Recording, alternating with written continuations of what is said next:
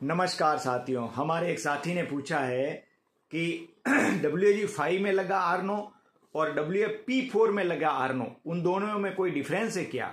हाँ जी, उन दोनों में थोड़ा सा डिफरेंस है। काम में या ट्रबल शूटिंग में कोई डिफरेंस नहीं है, लेकिन जो कैपेसिटी है उसका, यानी कि डब्ल्यू जी फाइव का जो आर्नो है, वो वन ट्वेंटी केवीए का आर्नो है और डब्ल्यू एफ़ पी फोर का जो आरनो है वो 180 KVA 180 KVA kilo volt ampere की कैपेसिटी का आर्नो है।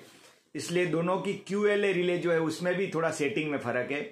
डब्ल्यू जी फाइव में जो क्यू एल है वो चौदह सौ एम्पियर पे सेटिंग की हुई है, और डब्ल्यू एफ़ पी फोर में जो क्यू एल ए है, वो दो हज़ार एम्पियर पे सेटिंग की हुई है। ये दोनों में थोड़ा सा डिफरेंस है।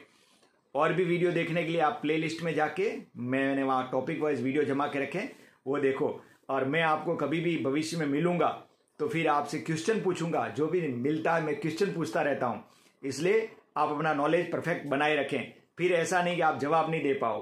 पूरा ठीक तरह से नहीं देंगे तो कोई बात नहीं। थोड़ा बहुत तो आना ही चाहिए। ऐसा नहीं कि बिल्कुल ही नहीं मालूम। इसलिए आप पढ़ते रहें और अपने नॉलेज को अपडेट रखें। धन्यवाद।